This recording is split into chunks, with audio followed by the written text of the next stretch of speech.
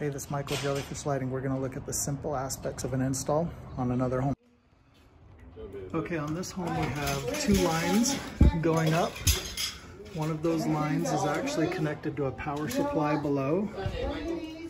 So power supply, controller, two lines, which means we're doing over 250 to 300 feet on this particular home. And then those lines are running up into the attic. So put a small hole in the soffit and pull the wire through that and the hole needs to be in a position that our track will cover it. Uh, then we're going to attach brackets, safety clips. direction and then with the app and go in there so they can go in and Going to place the lights into the track. and I don't see other companies.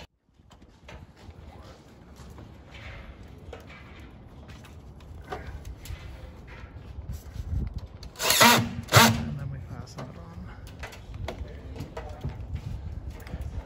See your red wire When you get to a break in the roof line, jump from section to section.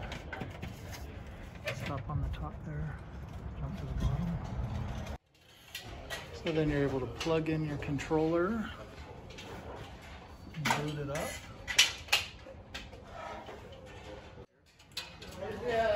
And then turn on the lights.